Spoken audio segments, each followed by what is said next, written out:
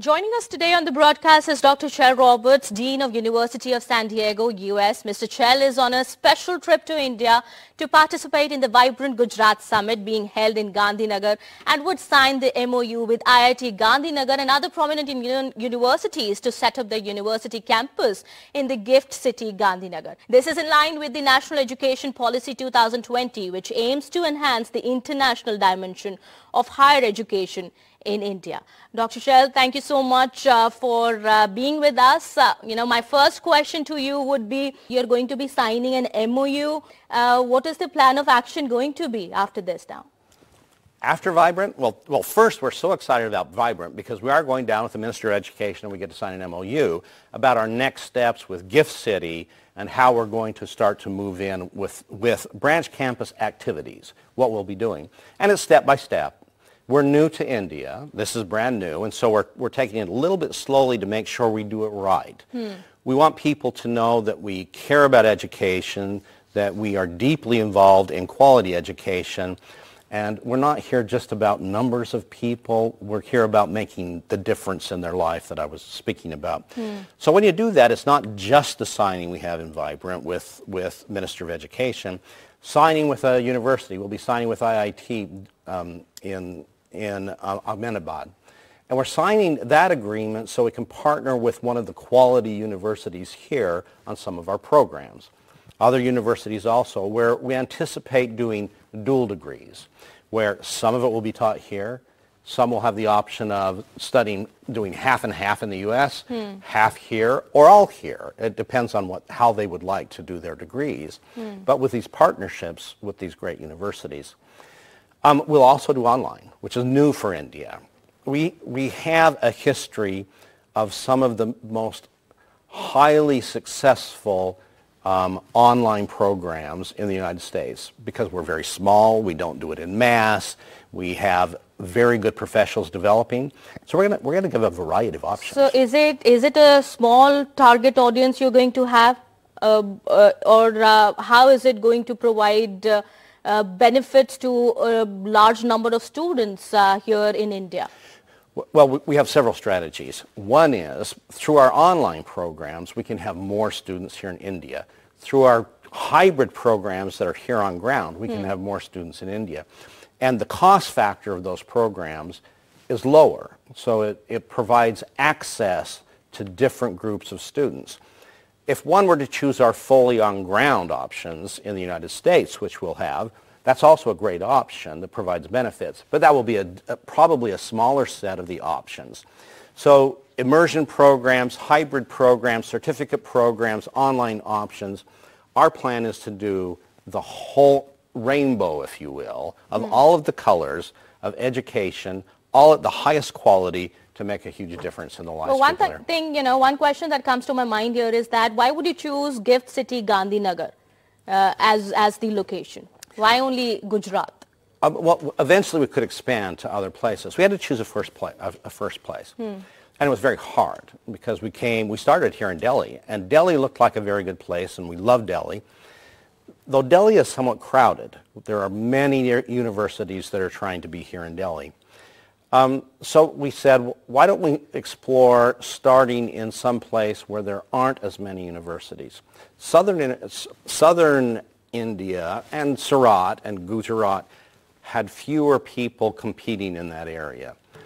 Plus, we knew a number of the universities. We had relationships. We have a team on the uh, ground there of, of people we've known in India that have helped us in, in business ventures. Hmm. And so it was a little easier to start there with an office, with an experience center, and to put something up. Now I'm going to imagine. I'm going to imagine that we will be very successful and we'll do it in more places than in Gujarat. I would also like to know from you about the programs and the curriculum. You've also said that they're going to be hybrid programs as well. Although in the starting you're only going to have online programs. What kind of programs are uh, uh, going to be available to the students here? Starting in April, we will offer online artificial intelligence, data science, um, cybersecurity, Now, the reason that they're not on ground yet is it takes longer to do those. We already had the online established, and we already had partners here who could help us develop and market in the online space. So it's much easier for us to begin with those online courses, which, which by the way, has a price point that's lower. But that same curriculum will build into the hybrid, and we're hoping we'll be able to start that later this year. So a student in that online format can choose to say, I want to come in for a class, or hmm. I want to come in for a part of the program to our Experience Center and do that. And right now that would be in Ahmedabad. So that would be this year. And then we want to provide the opportunity for starting a program and going to the United States.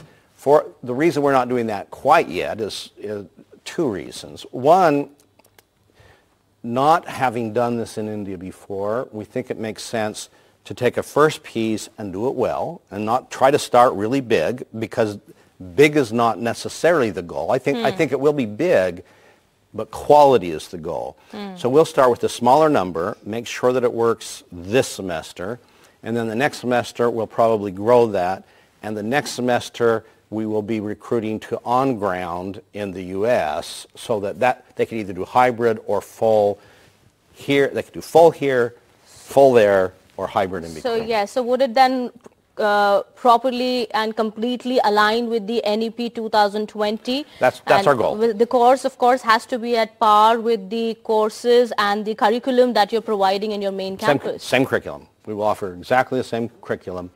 Um, currently, the online is taught by exactly the same professors. Um, we record them. They monitor it. We are hiring some faculty here in India to help us teach the courses. So we've got master professors that create the course, and then we vet and work with the instructor here. So they'll be hearing from a U.S. professor and working with an Indian professor when they do the online piece. And in hybrid, we'll also be hiring some people here and train them in how we do things. So it'll be a mix of U.S. professors and Indian professors that provide this. Hmm. Um, and, and we'll work as fast as we can to align with the, with the standards of India to make this work. Okay. Would you also, uh, I mean, uh, I would first of all like to ask you, have you been in India before? I'm sure, I think this is not your first experience, but it's how, not it's not, you've said. Yep. So how has uh, your experience been? I mean, you've had a lot of students, Indian students in your university, of course. But in India, how has your experience been? And uh, specifically now that you've chosen Gujarat Gift City as your first location, of course, you're saying that you're going to diversify, you're going to go to other locations as well. But uh, tell us more about India and your experience first. I absolutely love India. And let me tell you some of the reasons that I do.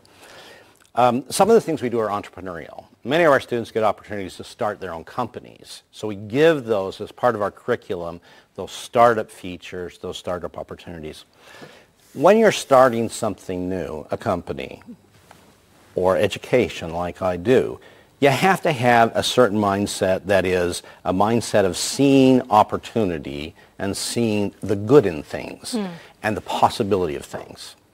So when I come to India, this is, this is my fourth trip to India. Mm. And I'm going to guess this year I'm going to be here four more times. Okay. But um, what I see when I walk down a street in India, I see this bubble mm. of excitement. Mm. It's the bubble of that opportunity.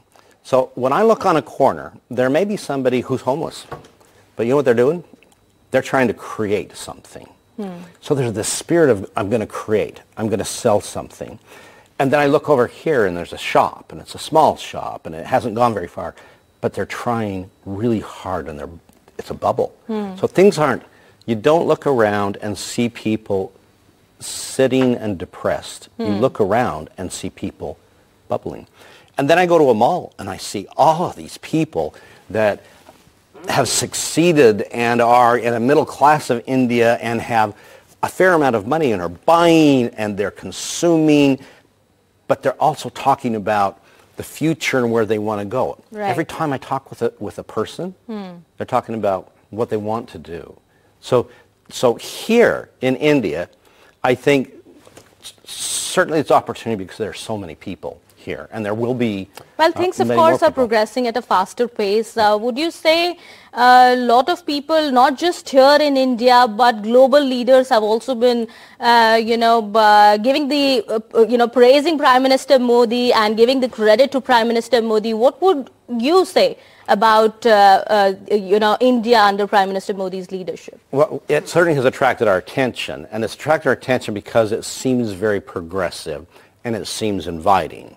You know, there are some times where there are prime ministers or presidents from countries that don't seem inviting, and we've all had those experiences in, in life. Hmm. But right now, your prime minister, your government seems inviting, and very inviting with education for the right types of education. If, if you can come and do quality education and change people's lives, that's what they want. And so they invite you. They're Right. trying to make it easier, and we're seeing that they're trying to make it easier. And it was just, what, it was a year ago or a year and a half ago where we started to see that happen, and we said, the time's now. Hmm. And that's why I'm here, to make that difference. Time is now and the future is, of course, you know, as many would say, uh, is uh, yet to be seen, of course, but uh, it uh, starts from here. The first step has been taken by you and we do hope you make uh, good progress and not just in Gujarat, uh, but other locations also we are hoping that we get to see your university campuses being set up. Thank you so much, Dr. Chell, for being with us here and sharing your thoughts. Well, thank, thank you, Kitty. I'm so excited to be here, and thank you all. We're going to do it, and we're going to do it great, and I, and I think we're going to have great partners here. Thank you. Thank you so much.